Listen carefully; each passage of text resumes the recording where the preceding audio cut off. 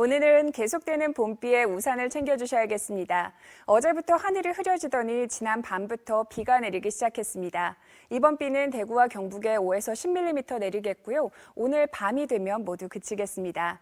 비가 내리는 곳은 평소보다 가시거리가 짧고 또 도로도 미끄럽기 때문에 계속해서 출퇴근길 교통안전에 유의하셔야겠습니다. 오늘은 아침 기온은 높지만 낮 기온이 다시 내려갑니다. 현재 대구는 9도, 안동 7도, 영양은 8도로 어제 같은 시각보다 약 7도 정도 아침 기온 높은 모습인데요. 한낮에는 대구 12도, 안동 10도, 영양은 9도로 찬바람까지 더해지면서 체감되는 쌀쌀함이 더욱 크겠습니다. 환절기에 건강 관리 잘해주시기 바랍니다.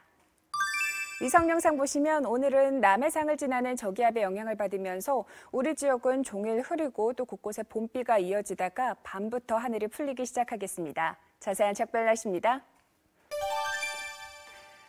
대구의 이 시각 기온 9도, 청도도 9도로 출발합니다. 낮에는 대구 12도, 청도 11도로 어제보다 기온이 낮겠습니다.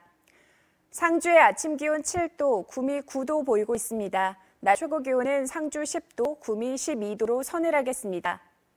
안동의 현재 기온 7도, 봉화 8도로 하루를 시작합니다. 낮 기온은 안동 10도, 봉화 9도로 찬바람이 불겠습니다. 포항의 아침 기온 10도, 낮 기온 12도 예상됩니다. 바다의 물결은 최고 3m로 일겠습니다. 이번 주는 우리 지역 내일부터 다시 맑은 하늘이 드러나겠고요. 한때 평년 기온을 웃돌다가 주 후반이 되면 또 다시 날이 쌀쌀해지겠습니다. 날씨였습니다.